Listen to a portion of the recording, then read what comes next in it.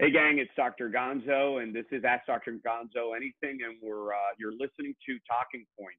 Um, hope you guys are doing good during this crazy time in the history of of the world.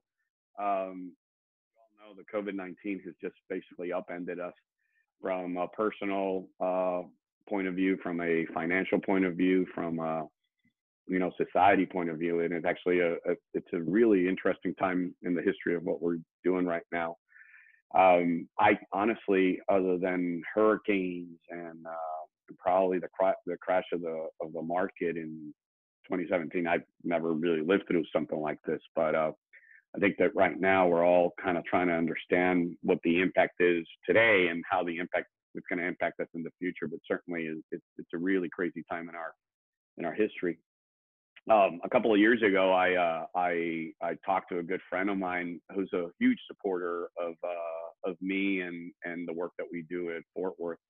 Um, uh, Stuart Flynn, who happens to be the dean the dean of the uh, TCU UNT uh, Medical School, which opened its doors to the first class in uh, this past fall. So, Stuart, thanks for being with us again.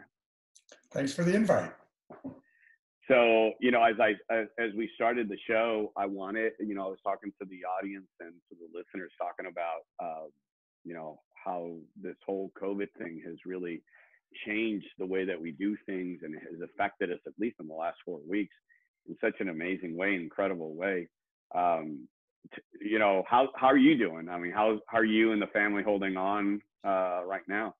Yeah great question. I think we have some similarities. We both have uh, children um, so I have uh, a couple of children still in K through 12, so they're being now homeschooled through their school, which is going surprisingly well, but it's it's a change without question. Um, I have a, a, son who's in college who now also is home and also is doing the same thing, being educated from afar.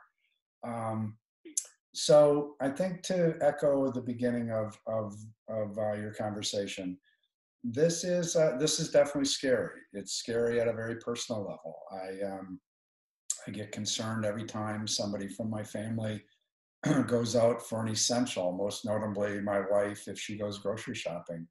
Um, that's the first time in our lives I think we've had to be that micro focused on a day and a part of a day. Um, bad things have always happened, but but here it can happen that quickly and manifest within a matter of days. So, um, but I'm in the same boat as everybody else.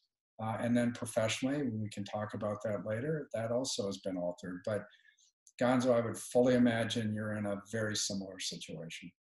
Yeah, and and you hit it on the head about what's going on, at least you know from the our household. Um, you know, it's funny because you don't think about those you didn't think about those things in the past you know there's there's there's a personal aspect of the household right so every time we hear somebody is stricken or dies uh, because of the coronavirus um, you know you hear the age and everybody's eyes are like popping up and and and we're like oh my god he was only 50 you know or right. somebody in their 40s you know you see it starts affecting the age group that we're in right now you're like oh you know, and that's aside from the fact that it's so scary.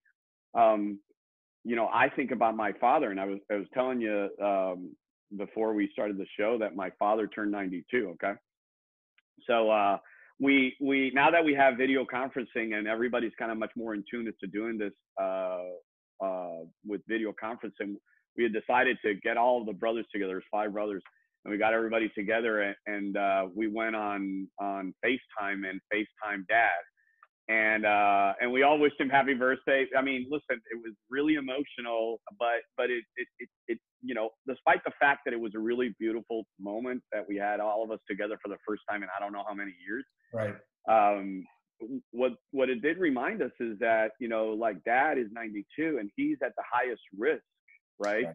His age and uh and and you talk about scary i mean i don't know about you if you have your parents or uh mm-hmm. uncles or somebody who's close to you yeah. alive you know mom the other day i think during the first week or maybe the second week of this whole covid thing uh breaking out she said well you know what we you know i had to drive your dad to the bank and i'm like what right to the bank? And like, yeah, you know, he had to pay some bills. And I'm like, I said, mom, I, I, I really? Right.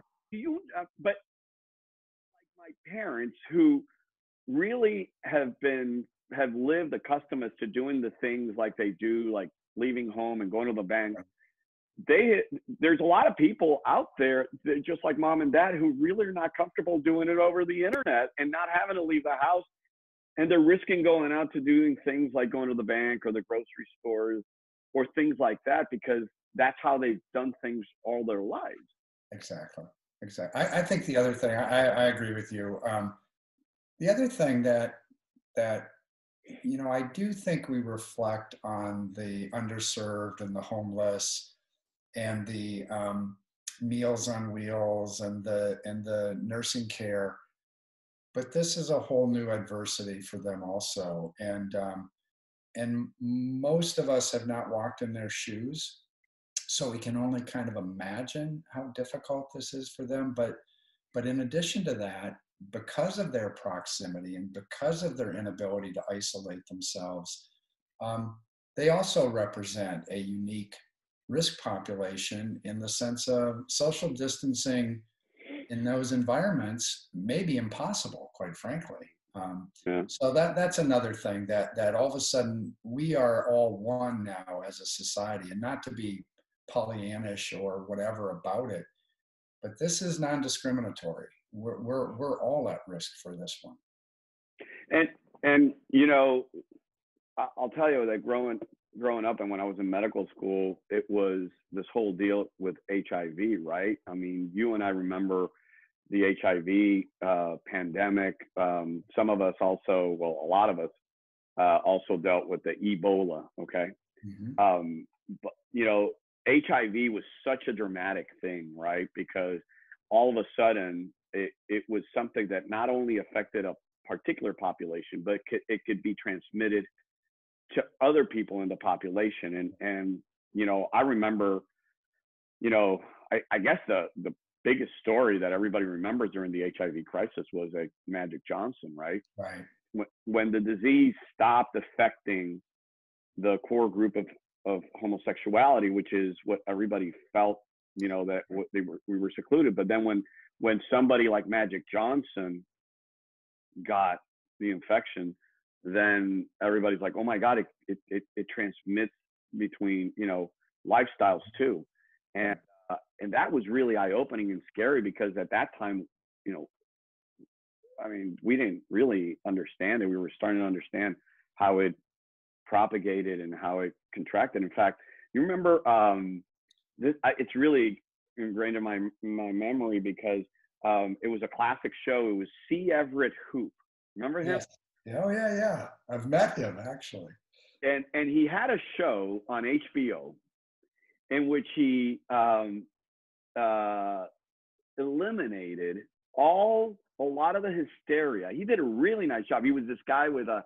If you guys, if you guys don't that are listening or watching don't know who this guy was, he used to be the uh, uh, oh Surgeon General. The Surgeon General for the United States, and he was an, uh, uh, a Navy guy. Yep. Shows he had a show on HBO, and he had uh, he was dressed up in his in his uh, you know his uniform. Right. Had this white beard that wrapped. He didn't. He didn't have a mustache. He had a white beard that just basically went around the chin, and then these spectacles. Yeah. And you know, there. And, but he was a factual guy. Remember, he he was like, oh, you know, he was just very pragmatic. He didn't really sugarcoat things. He said, I remember him saying, you know, you can't get HIV if somebody spits on on the and you lick. I mean, that's not how you get it. it, it I mean, he had some really, he really did actually uh, alleviate some of the anxiety. But no, I. Stuart. So I was there. something contagious, but we didn't know what it was. Um, and I remember the hysteria through both society and through the healthcare community. So a lot of similarities to this. What what became apparent reasonably quickly, to your point, was it wasn't as transmissible as the initial fears were. Um, that's not the case for COVID. This is, you know, wicked transmissible. Well, and, and I look. Go ahead. about it before the show, but you know, I have to admit that I was on the bandwagon initially of the group of people that were saying, "What's why is everybody freaking out about it?" Right, and that was that was early March when we started hearing of what was happening in Italy and all that stuff. And I really wrong. I mean, I I wasn't really correct on it. I was truly wrong, uh, and I regret thinking that way. But you know, mm-hmm. I justified it in my mind. Well, you know, socialist medicine versus you know capitalist medicine all these things we got more resources they're right. much more selective and so i justified it in my mind maybe just to alleviate some of the anxiety but what what makes you know what makes this virus different from from uh, you know the other viruses that we've actually seen well i think um, from my point of view a couple things so one of the most contagious viruses we've always talked about um, was uh, was um, um, um, uh, chicken pox, which is fascinating, right? Because we now have a vaccine for it. But chicken pox, if you looked at a kid and you were a kid, and I'm being facetious, you got chicken pox. But the ramifications for 99.9% of the kids who got it, you know, other than maybe a scar on your face from one of the pox that really, you know, went deep and maybe got infected, so that's the first thing. So we have some very infectious viruses, but it's the it's the ramification that I think is so profound with this one. Um, All right. So its transmissibility is about as transmissible as anything we've ever seen um, relative to other viruses. You know, you've brought up HIV. That that has very specific transmissible uh, factors. This is a droplet kind of um, uh, contagion. It's also a fomite. It, it attaches, it goes from a sneeze to a milk carton that you then pick up, and now it's on your hands. You rub your eye, and now you're infected.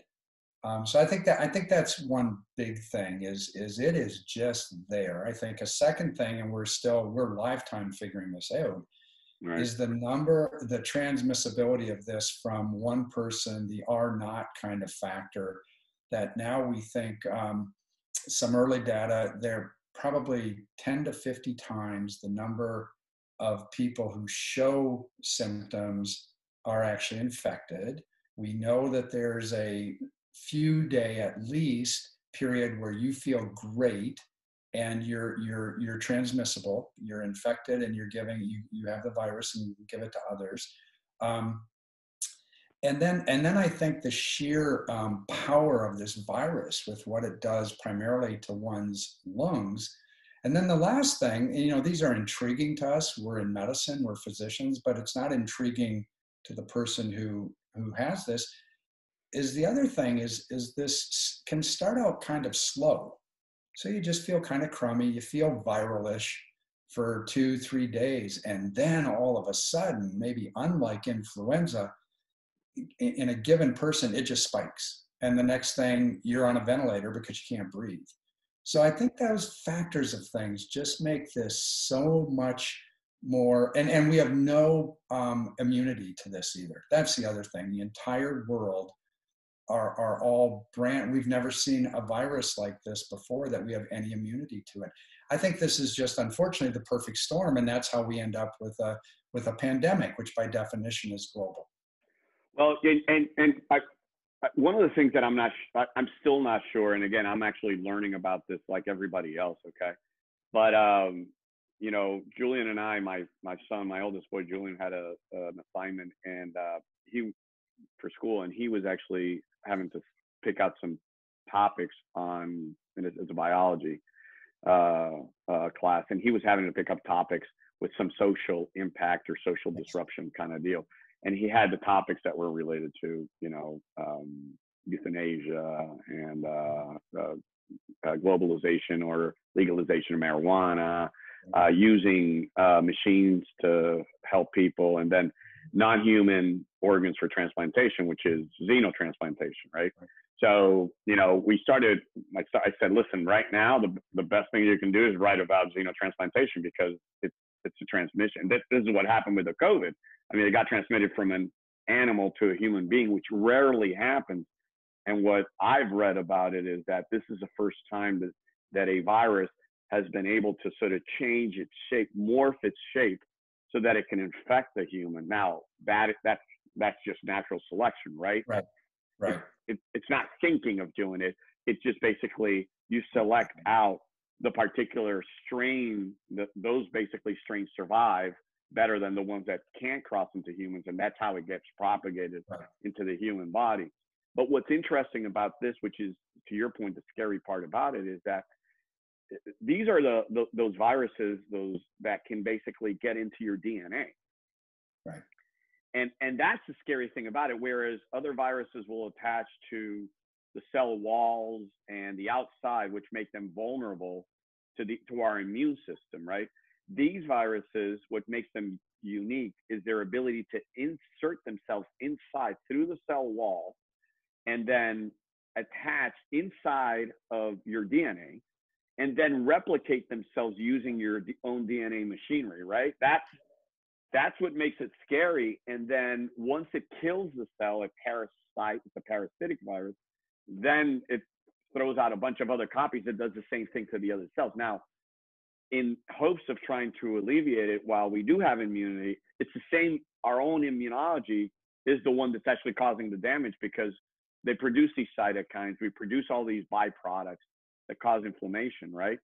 Uh, Yeah, I think um, so. I think you're, you're you're absolutely right. So if you want to use a paradigm that doesn't um, necessarily, it does not have this fulminant of a course in the vast majority of patients, would be, for instance, uh, hepatitis virus, hepatitis B, for instance. It does the same thing. What it doesn't do, uh, it kills the hepatocyte that it's infected. It doesn't result in this intense cytokine storm. Yeah. Um, and so it may it may cause liver failure cirrhosis and it may ultimately kill you but that may be years and years later and that's not that's not a given outcome either. You can heal and be fine. So th- that's the part of this. It does everything you said but in addition it our immune system just goes crazy on this. And so we're now the vehicle of our immune system trying to do what it does but but all of these uh, chemical reagents these cytokines are are powerful. And so one of the big things that ends up happening is we end up as you know well this is your world we end up with leakage in the lungs and we and we end up with inflammatory cells in the lungs. And what are the lungs built to do? To have a very thin membrane so we can breathe and have oxygen go from the air into our bloodstream. Well you start throwing those factors into your lungs And it goes, it thickens up. Exactly. And so now you wonder why people are on ventilators. We're trying to force the oxygen through that process into their bloodstream. So, um, liver, very important, as we know, but lungs, if I can't breathe, No. I literally can't live. Well, and you and- and I don't, and I'm still not understanding the immunology of it because, um, you know, people. There are people that actually are carriers and remain asymptomatic. We have multiple examples of that right now happening. Right, that people test positive and then they they never get symptoms. So there is there is some resistance, right? I, and I've been interested in hearing how people are using their plasma, right, in hopes of of providing some type of immuno immunology. Right. And but but I'm not going to dive into the immunology because it's a little too complicated. But the reality about it is that that's not any more different than IVIG, right? Because that's what you do. I mean, Right. Right. Right. we're giving people is IVIG, and and you and I know from all the work that we've done with immunology and transplants and stuff, IVIG has been always this black box. Yeah. Nobody knows how it works. No, but we love the fact that it, we have that black box when we need it. Yeah, and so and so we're just replicating that. I'm not making light of it. I'm just Right. finding it curious that we're going back to a therapy that for years we've used with inflammatory immunological and Completely. people say they get better and there is some truth to that and I don't want to say that it doesn't work. Right. I'm saying that we really don't understand how it works because for some things IVIG in certain concentrations can be immunosuppressant. For in other concentrations it could be actually immunoprotective Yes. how does it work? I think we're still trying to figure it out. I agree. I agree. And I think the last comment on immunology is uh, like any virus, um, society has a spectrum of, of how individuals respond. I think what's proving different for this is just the, the skew of that curve to a greater subset that have this very intense immunologic cytokine response. Right. Um, and, and that's when it goes from being functional, because those are functional responses immunologically to an infectious organism, to now they become pathologic because you overshot the runway and, and now they're doing damage rather than, than, than, than killing the virus. So I just think it's skewed. I think we see this response, this spectrum in any viral infection. This one just has a different, um, uh, uh, maybe exponential intensity at the end where people become uh, pathologic, where it becomes a pathologic outcome. So it's interesting for the listeners and the viewers.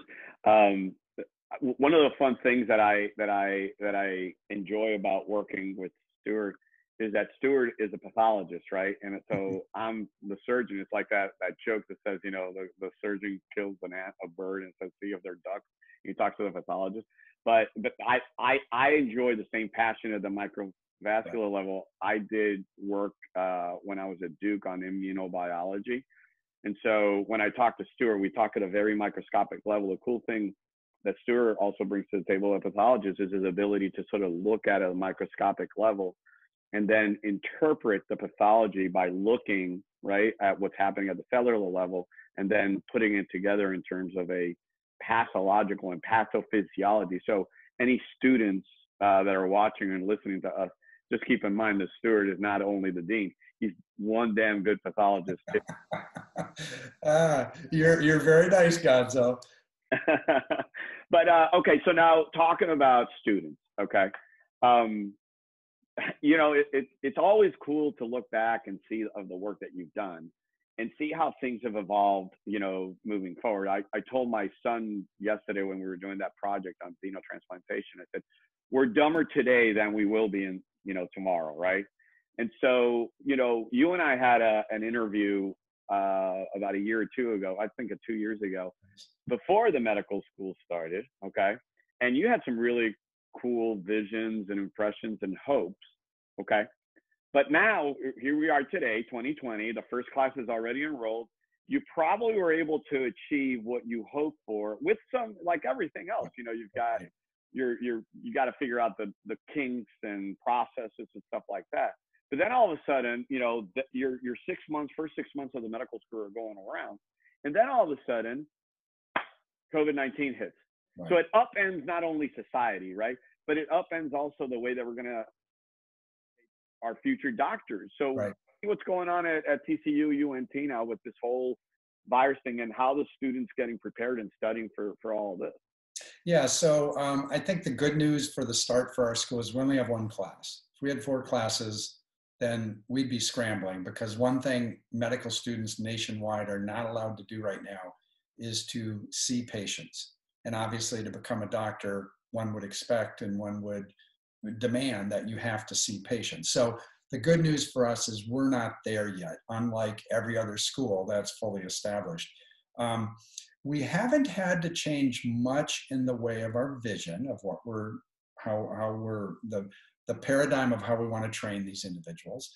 So what has changed? So I will start with a very genuine compliment to our students, who, no surprise, have been mature, have been accepting of, of the environment. They know it's not our doing, they know it's not their doing.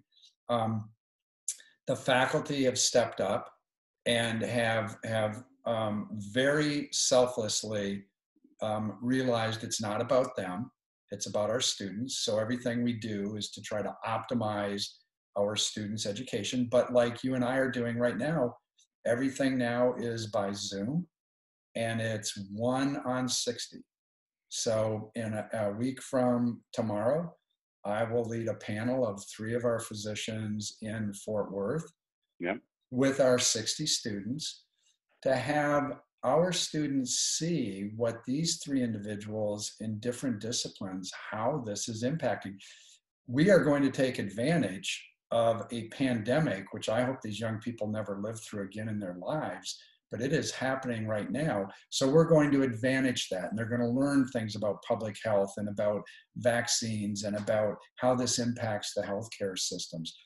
What can't we do right now, which is part of what you're probably referring to? Well, our students cannot physically be with a patient. So that's that's hard. That, that as you know, we both did this. This was our elixir. This is what excited us. This is why we went to medical school to see patients, diagnose, and help and cure. Um, so we're doing everything short of that. So we have um, anatomy. We have some phenomenal tools to teach anatomy.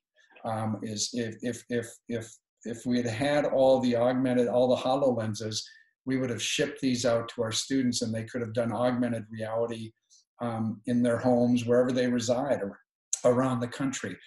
We're even doing standardized patients through the interviewing format. So you might be a standardized patient. I'm the student. I have my mentor is watching me do this, who would have watched me do it live time in an examining room, but now is doing it by Zoom. I can't touch you, but I can still fine tune whatever you have, which I don't know. You've been trained to know what you have. So we're, we're doing as much as we can do short of the true physical grouping elements of things, um, like everyone else. But I, I will say our school was designed in a way that this transition, I would have preferred we not do this, but since we don't have lectures, this has worked out well. All of our all of our information is online already, and so we've adjusted um, but I, am I'm impressed I'm, and I'm thankful. I'm thankful for our students. I'm thankful for our faculty. Well, and it, and it's and it's interesting because today I was um, uh, I was in the car driving back from getting my cup of coffee uh, at Starbucks. Um, I didn't it's closed, but you can go through the drive-through. Okay. The uh, and I was listening to NPR on my way back home, and um, there was a there's a sh- segment on Saturdays or a show on Saturdays that, that relates to physical therapy and orthopedics and sports medicine. Um, and there were these two doctors talking about the impact that coronavirus has had in practices, right? And so they were they were talking about telemedicine and how different the world is, right? Because um, you know they they now have to see patients through telemedicine, right? And and have to have a disclosure that says, well, you know, you may have to come in for an exam, right. which, which is super interesting to me because when when I was in medical school, um, I I was taught that 80 to 85 percent of the diagnosis comes from the history alone. You hone in, you hone in on that, and from that you get a differential diagnosis. Okay, so then once you have your differential diagnosis, then then you did some testing or physical exam right. and distill that to another percent of patients that had, you know, another two or three differential diagnosis. And then and then you would add the test, and the test would only contribute about maybe about five percent of the confirmatory diagnosis of what you had. That was in an era in which we could actually put our hands on people and do the physical exam, right? I I never understood why is it. In fact, you know what? I just noticed. You see this book right there. This book that I'm pointing out. What is it? Actually, you, I, I don't know if you could read it, but it says Mosby's Guide to Physical Examination. you dirty dog. That is awesome, right? That was awesome. Yep, that's a throwback. That's a throwback right there. But that's my book yeah. Go right here, right here. That's my book when I was in medical school. Absolutely. That that we used to do physical examination, and I really didn't understand until today. I well, I maybe years before, but how important that lesson was of understanding is that you really have to hear the story. Right. And once you have the story together, then the physical exam and the the tests that you do are the ones that confirm the test, the, the diagnosis. But I, I really do think that we're going to start depending in this era less and less of the physical exam. Some specialties, okay, not all specialties. Right. I do think that there are some specialties that are going to still utilize physical exam to their, you know, to try to make the diagnosis.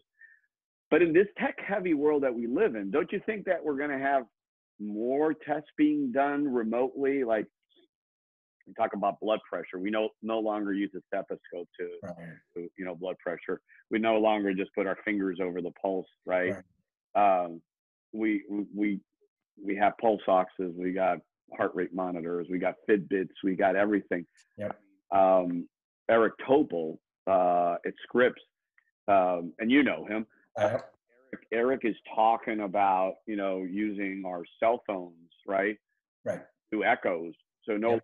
longer. I mean, he's talking about um, not using a stethoscope anymore, right? I mean, that's crazy for people that actually depend on it um, to listen to murmurs, to listen. Right. Imagine a world and can you just basically scan yourself, right? And you can you look at the lungs and have an X-ray right there. You can look at an ultrasound and look at your um, heart, look at your carotids, and not have to listen to bruits and all that stuff. I, I mean, what what's your thought about that in medical training altogether?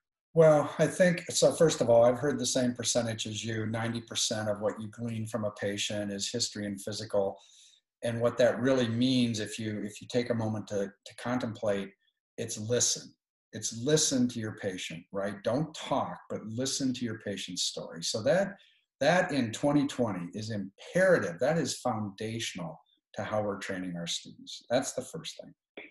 The negative i would say is i kind of scatter your question and i've watched this you know running residency programs now for more decades than i care to admit.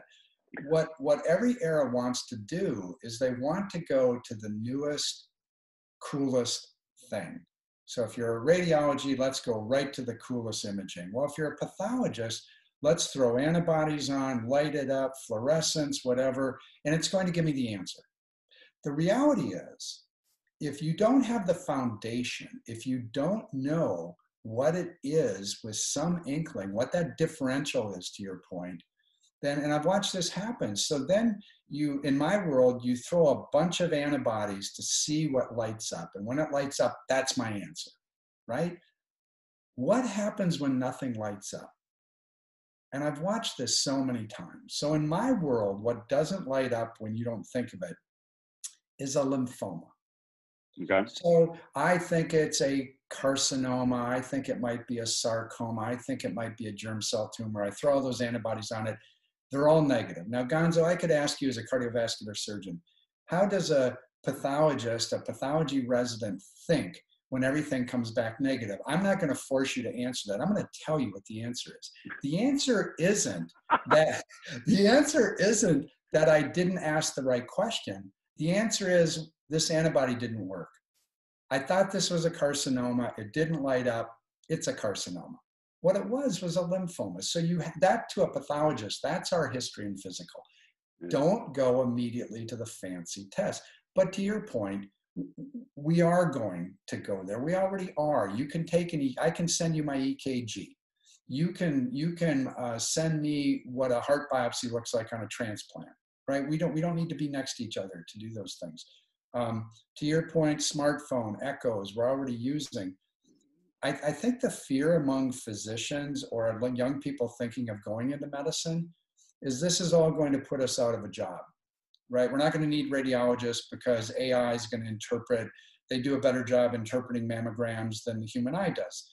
Um, but if you think about what we're talking about, a critical part of our job is actually the humanism behind what the, you know, so I send you my EKG and I have a fib. Okay, I have a fib, I still need you as a person yeah. to talk to me about that. And I'm not minimizing that our hands aren't going to continue to be important.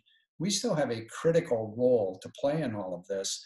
And our students are going to be the leaders of this transition. And I hold them accountable to that. And I say that to them. And that should be somewhat daunting to them. But in a long winded way, I would tell you telemedicine it, I think because of this pandemic now, we've had no choice. We've resisted it to this point. Now it is going to become foundational to how we see our patients but it doesn't mean we disappear. And it doesn't mean we never see them and we never lay hands on them. Well, I'll tell you one thing, and you and you highlighted a couple of things that that are critical to to uh, underscore. Uh, the first thing is that you know I, the importance of of having a good history, okay, without having the ability to examining a person, okay. Right. The pathologists are probably the best at it, right? Because oftentimes you depend on the history, okay, yeah. to some level the the physical exam, certainly the radiological exam that's coupled to it, right? Yep. And then make an interpretation based on something that you read without even having to speak to the patient, okay? Now I'm not I'm not advocating that everybody does that, but I am just framing the whole argument of saying physical therapy may not be totally as much in terms of our diagnosis as important as these other things that we're doing. However, we're going to have to figure out the cost of it. Right. I agree with you. I think that a patient will always want to talk to their doctors, whether it's this way, whether it's face to face. Okay. Whether they care to be examined or not, I am not so sure how society is going to respond. And honestly, while we care to to like that or not, telemedicine is here to stay. I mean, right. there is no way that we're going to be not doing this in the future now that we all understand the risks associated to the frontline people, right? Which is, you know, which are the ones that we worry also the most about.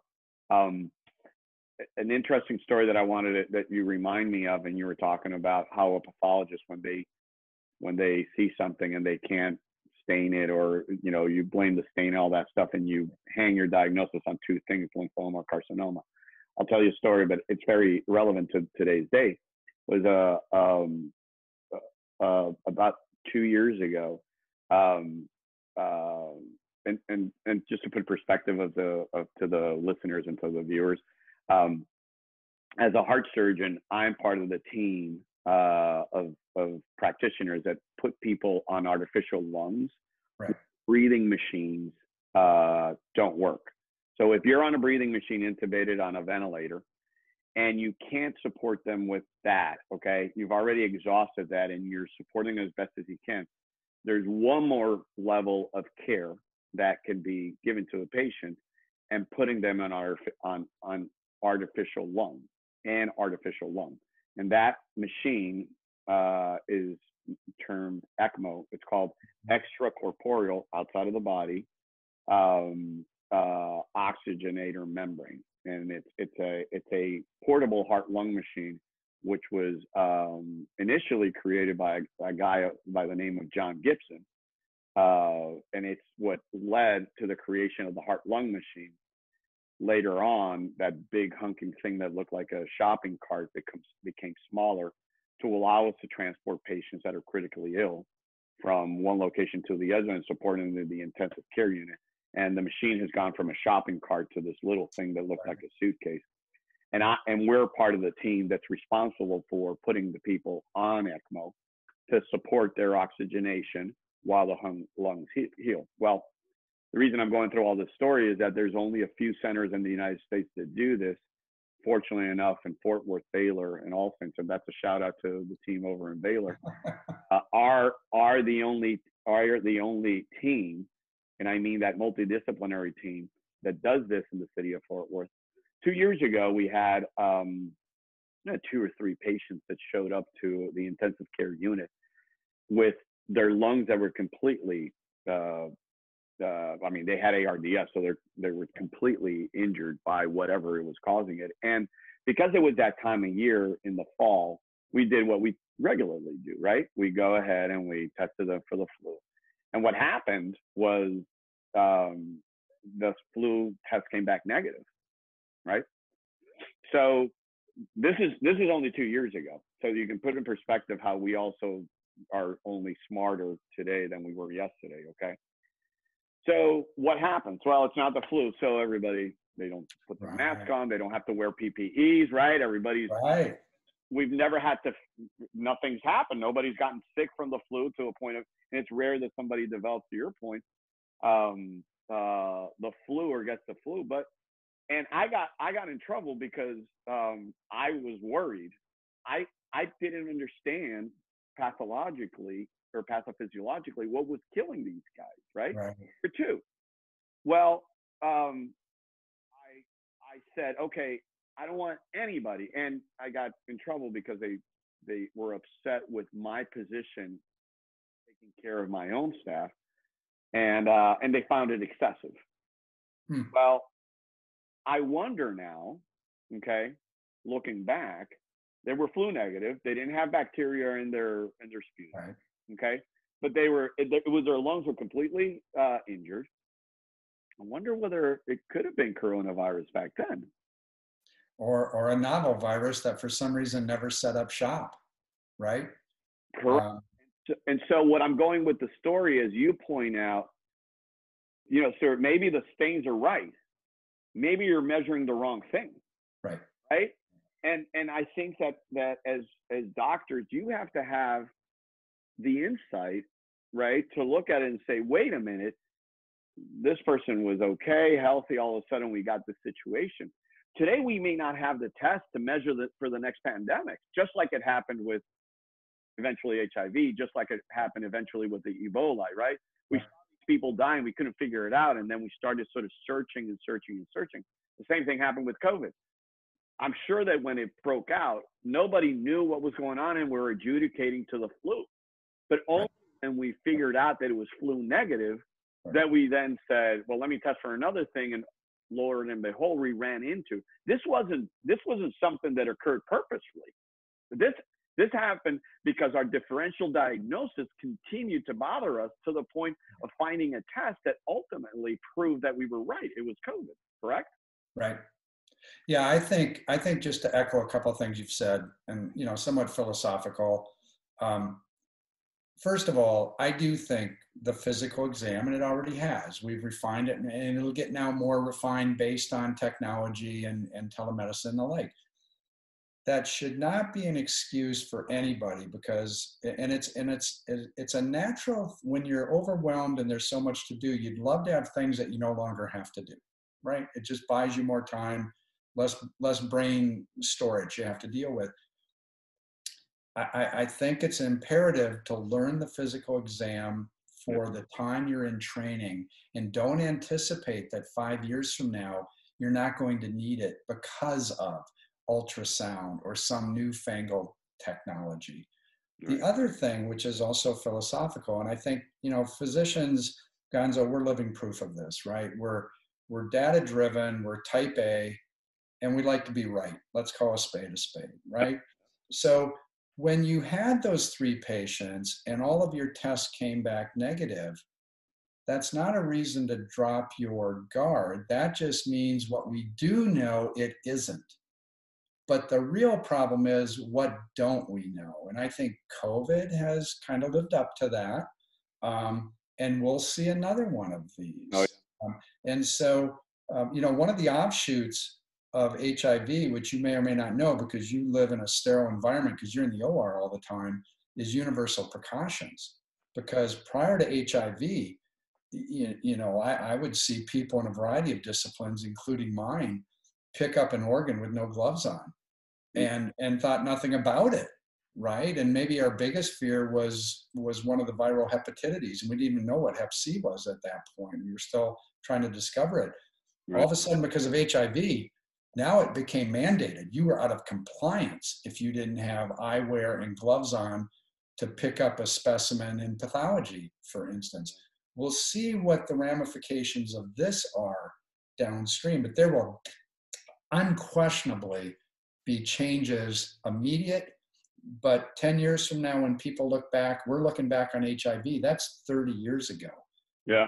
what were the ramifications of what we learned from that over the evolution of 10 20 and 30 years?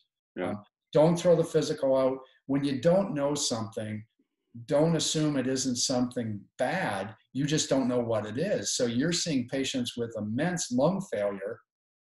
Something is doing that. You just couldn't figure out what it was.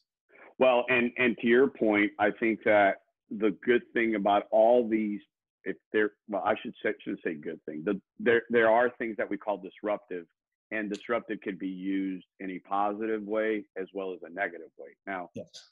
I try to look at things glass half full. And so, what are the good things that are coming out of, and, and it's kind of oxymoron maybe for some to say there's something good. But I do think that there's a lot of really good things that are coming out of this. I mean, I think that the fact that people are being much more careful about their own hygiene and making sure that their hands are clean, that they're handling things appropriately, um, those are really good things. That they're washing their hands, um, you know, when they come in and out of the car, that they're keeping distance when they know they're not feeling well. That heightened uh, sense of awareness is probably one of the best things that has come out of that. And I applaud it because it doesn't only interfere with the ability of transmitting a disease like COVID 19, it does diminish the, the risk and exposure of other diseases that will come and we already know of. I mean, take for instance, I, I we, we've been so focused on COVID 19 over the last month that nobody's talked about what has this behavior done and impacted the flu, right? right. Because because everybody is now hot on it, you know, and I'm not saying that it's wrong, but there are other diseases, seasonal uh, diseases that we that this is going to impact. I mean, I, I I I think about food poisoning, right? I'm right. thinking about um, the flu. Um, I was talking to a buddy of mine out in uh, in uh, Panama uh, just this week, and they're in lockdown as well. I mean, right. Hear that in the news, right? Because it's not that you know we it's not in our wheelhouse right now to listen to other countries, but it's interesting. Like the remainder of the world is doing the, the rest of the world is doing the same thing, but that's going to impact also their health as well in a positive way, right? right. So, um, you know, I, I I I usually think that the the the universal precautions that we typically use in the operating room are washing our hands, making sure that um, that that we are diminish the risk of actually contracting a disease. It's interesting. I was I was reading into the Wall Street Journal. Um, there was an article about this uh, German uh, physician who, in his back in the day, he popularized or he had noticed that uh, pregnant females, postpartum uh, sepsis um, was uh, was about 20, 30 percent uh, happening in the hospital, right? Because people, to your point, didn't use gloves. They, so he instituted a very regimental, rigid um, process in which you had to wash your hands before and after handling a patient. Okay. And this is, I think it was in the early, late 1900s. Anyway, and and his post sepsis infection, uh, postpartum sepsis infection rate went from 20, 30 percent to two percent, and it was wow. hand washing. So I, you know, I I think that all this is going to impact other diseases as well. That's going to have a direct impact on maybe you know the finances of healthcare. There's going to be some some right right because of other things that we're doing with drug development and R and D and all that stuff. But I think it's going to be a really good thing. I also wonder, and I wanted to pick your brain about that. What what do you think is going to happen with these patients that now are not coming to the hospital because they're afraid? One, they're afraid of contracting, okay, um, the a, a virus or any disease, right? And and we're now you know, our census is incredibly low because people are staying at home and not going to doctors. Um, that's one aspect, right? That's that social distancing and the social isolation and and not going to a place where we know it's going to be COVID positive is affecting the census in the hospital, which is an, an economic effect also, right? Right, absolutely. But then, but then there's that piece. But then also, with everything that's gone on in the economy today, and we're reporting the one of the largest unemployment rates, okay, in years. Um, last week we reported, I think, six and a half million people uh, filed for unemployment. Okay, when we were actually at 0.2 million people. Okay, in February, it'd been a year. It'd been a maiden year for for jobs in the United States The problem that I see with that, and you probably know where I'm going with this, is that unemployment equals uninsured. Yep. And so, what happens in every study, and you can actually fill in the blanks now.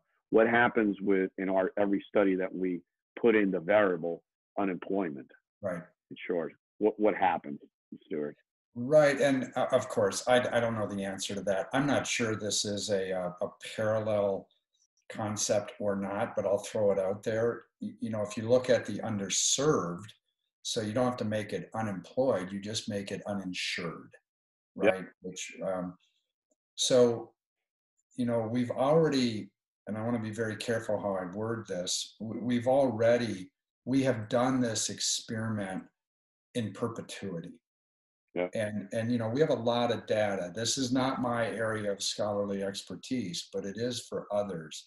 And we kind of know, right? We know anecdotally yeah. what some of the impacts are. To your point of of access to care, of of ability to go and get care, of being receptive, uh, an enterprise being receptive to have them come for care. And we all know, everyone knows the impact of well, you can't turn me away if I go to your emergency room, right? So that becomes your primary care home. Um, we've now just added over the last two weeks 10 million people to that to that paradigm, yep. right? And they're not used to that. They they weren't the underserved living in these all of them. Um, these are individuals and small businesses who who had a paycheck and and lived in in middle class America and again, not to get too philosophical about this, but you are right. We are about to do this experiment live time, and we will be dissecting this. So, one question will be how long is this going to last? We know that once we get the COVID under control, the economy is not going to be like a rubber band. It's not going to just come back to its normal elasticity. And then there's going to be this ongoing of what is the what is the ultimate tail of this when it comes to healthcare. That's your world, that's my world. Um, what's going to happen to third party payers in this, right? You can just see now all these discussions are on the front burner. They're not on the back burner all of a sudden.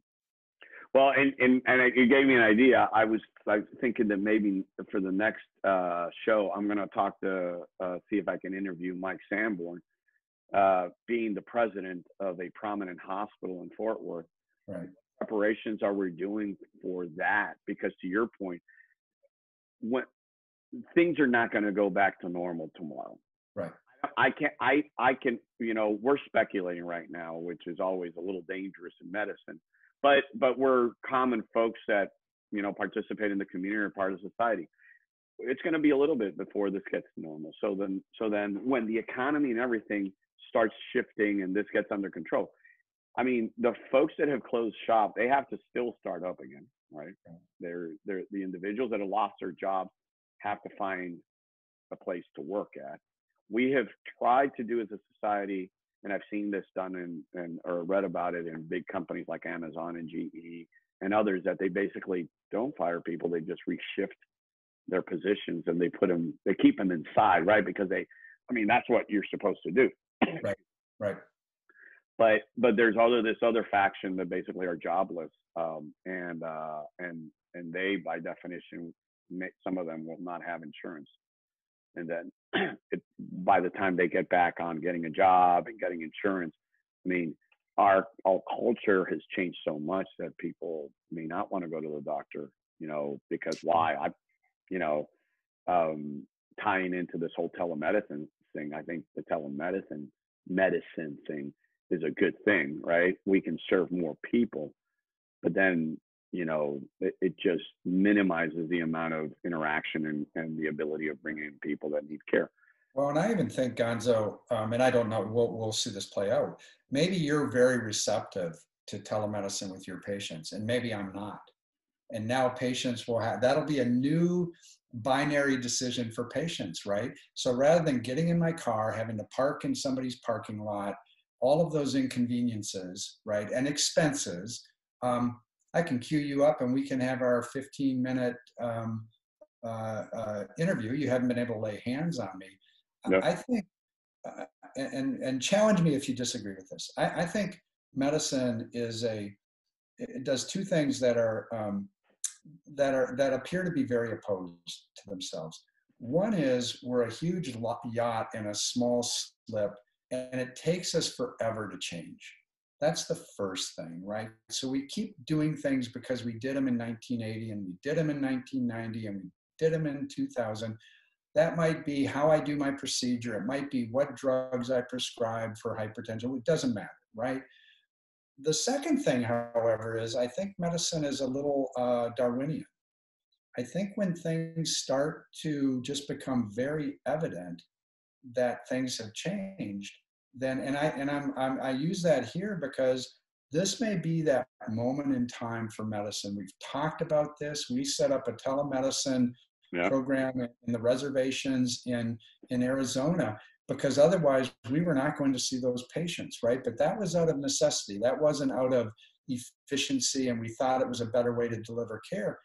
This is an inflection point, I think, to challenge once again, how do we interact with our patients distant, distantly?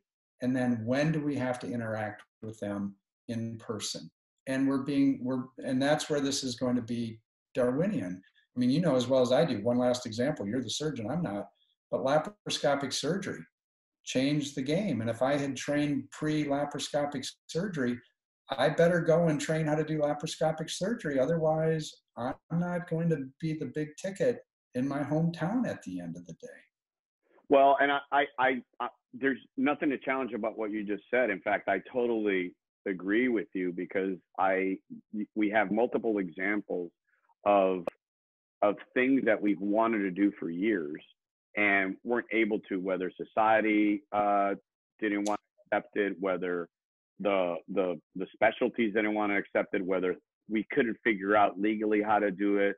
Okay? Because the telemedicine is probably the biggest example of something that was so contentious that people were so at odds not only the public but also the physicians and our and our professions that we didn't understand it. And i think this is i think this is a disruptor but in a good way. Um, when i was a, a resident in uh, at duke I remember uh, going to listen to uh, or going to the uh, American Society of Thoracic Surgeons. It's the academics elite, uh, what's considered to be the elite uh, organization uh, in cardiothoracic surgery. And the president at that time was a was a gentleman by the name of Jimmy Cox. Jimmy Cox trained and practiced trained at Duke and develops in the lab when he was there the Cox maze for procedure. Um, and so he was he was he was basically doing that work in the lab. It was Jimmy Cox who did it, and he became the president of the STS. And I remember this very clearly because I I truly was at awe, and I was like, boy, that's going to be a really cool time. As a heart surgeon, his presidential address address dealt with and touched on um, using telemedicine to provide care all over the world. Wow. I was uh, uh, this is 2000. This is that's amazing. But this, uh, and I do remember this clearly because I was I was saying, how is this going to work out? Right. For a heart surgeon, it's kind of counterintuitive to say, well, uh, you know, I'm going to use telemedicine to take care of my patients. Come on. Well, I do. I mean, and right. honestly, Stuart, it's been the best thing since I sliced bread because I no longer have to be getting in the car, driving. Yeah. Patients don't have to wait. I I've done it now uh, in a dozen patients, and they are like, "This is the best thing. I don't have to leave my house. I can sit down, listen, you know, watch TV. You call me. I get myself on the cell phone. We see each other. We talk about things. It's the best thing. It doesn't interrupt. It doesn't consume your time. Now, I still don't know, and it'll be very interesting to to see how this you know evolves because there's legal ramifications about it too is how do you manage can with, with robotics and we do do robotic surgery and mm-hmm. microscopic surgery but with robots as these devices become much more easier to manage remotely will there be the day and i would bet there's going to be the day that we can actually be sitting here somebody walk in into a surgical hospital okay? you do the surgery remotely, maybe with the robot, and we're already doing on site. We've never been able to take the console and move it from within the operating room Right. to another location. There's going to be a time that we're going to figure out, okay, if there's a problem, the risk of a problem is X. And if we have to convert to open, who's going to do that? Is, is it the guy sitting in the, you know, the console, or is it a guy in there that's going to be able to do it? I think that that's going to be the natural progression for surgeons. Um, I know who's not going to do it, Gonzo. The pathologist. You do not want the pathologist taking over at any point in time during that case. Well, you'll you'll probably and you won't have to go to home. We won't be sending the samples at home. So that's the that you have to. I, I do think that there'll be a lot of reading going from home, like radiologists, right? That you'll right, right. be and and- and I'm sure that that's happening right now. But I think that I think that honestly, the telemedicine thing is is probably the best thing. Um, again, referring back to the NPR uh, store uh, program that I was listening to this morning, where they were going with it is that they were more worried about how insurance companies were going to take advantage of that to lowball physicians in terms of their time taking care of patients. And to me, that um, it just changes the way that you do it. It doesn't change the amount of time. What I've found is that because now I can see a patient at any time, at any place, it's it, there's a there's going to be a better satisfaction maybe from the some patients. I would hope from the majority because now they don't have to wait. One of the one of the variables that they check off is waiting times in the well right. if you don't have a place to wait and they can call you directly, what you've turned this is into the old, um, you know, when we used to do door calls. Right, right. I think you hit a lot of things that five, ten years from now, if this does gain roots like we think.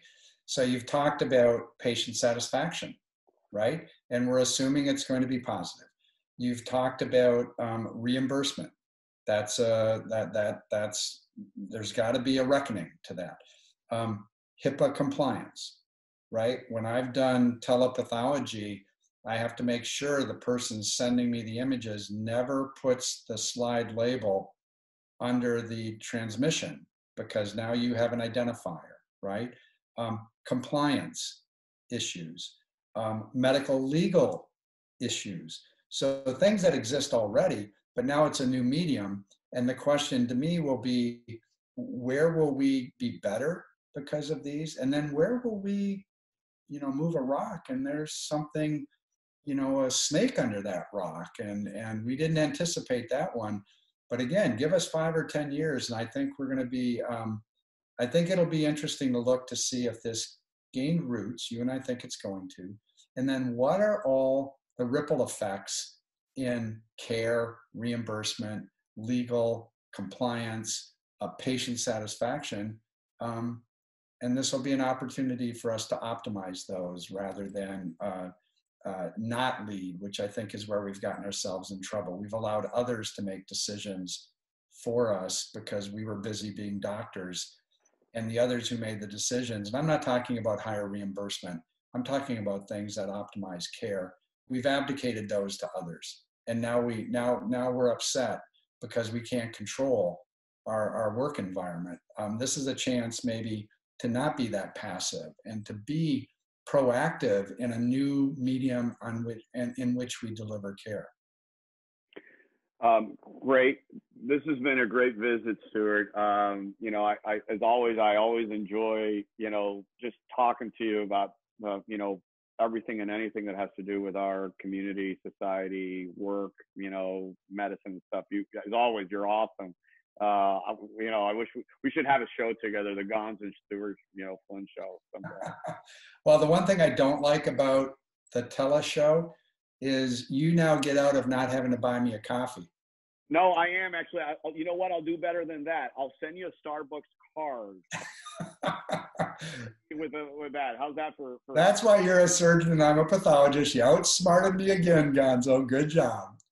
Okay, so Stuart, just before we wrap up, is there? Um, I'd like you to take the opportunity also because I know there's students watching. Uh, there, you know, hopefully there'll, there'll be other people watching. You know, in the community. Um, anything that you want to close off with? You know, to uh, to the medical schools, uh, TCU and UNT. I think um, you know, just globally, we're in this one together. Um, and I think I think uh, that's the beauty of Tarrant County. I won't speak to any place else. I think we've rallied um, and that's been a beautiful thing to see. Um, and so, to our community, please um, understand that we're doing our best to give you to give you the best care. I think that's a very fair comment. To our medical community, from my point of view, thank you. This is one of the most trying times. I think this this does very much echo what happened with HIV and the and the and, and the ripple effects through the community and then physicians in training. This is your day to see what happens in kind of a worst case scenario. Um, kind of own this and and and learn from it and then help lead because you may be 50 years old and there's another pandemic learn from this have a memory so we're better when you're 50 than we just exposed to you um, when you're young in this. So that that would be kind of a, a global comment from me. Perfect. Well, Stuart, again, thank you so much for being part of the show. Uh, as always, insightful and uh, visionary. Uh, I'm looking forward to the next, you know, 50 years with you working, you know, in whatever. We're not med students, Gonzo. Thank you very much, and and to your audience, have a great rest of your day whenever you hear this. This is Dr. Dr. Gonzo signing off for Dr. Gonzo's talking points here in the Ask Dr. Gonzo Anything YouTube channel. Uh, guys, stay tuned. There'll be more programs coming up in the next couple of weeks. Thanks, Stuart. Take care. Thanks, Gonzo. Take care.